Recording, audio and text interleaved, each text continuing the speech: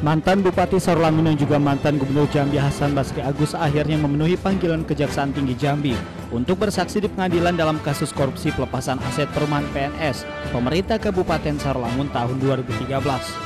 Kesaksian persidangan yang disampaikan HBA Senin siang untuk terdakwa Ade Lesmana, Direktur PT NUA dan Hasan Basri Harun, mantan Sekda Sarolangun.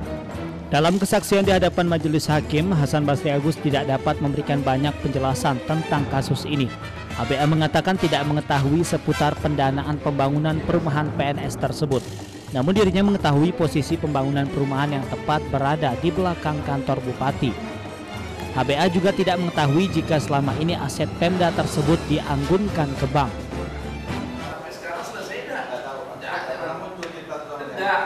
Proyek pembangunan perumahan itu sudah ada sebelum Bapak sebagai bupati. Nah, pertanyaan saya, proyek itu sudah selesai belum? Selepas Bapak menjadi bupati? Tidak tahu. Selain HBA, jaksa juga menghadirkan saksi Joko Susilo, Ketua Koperasi Pemkasa. Setelah mendengar keterangan saksi, Hakim Barita Saragi memerintahkan jaksa untuk melakukan pemeriksaan kembali terhadap saksi Joko Susilo. Saksi Joko dinilai bertanggung jawab atas pembangunan aset pemerintah Kabupaten Sarolangun tersebut. Muhammad Aprizal, Jambi TV.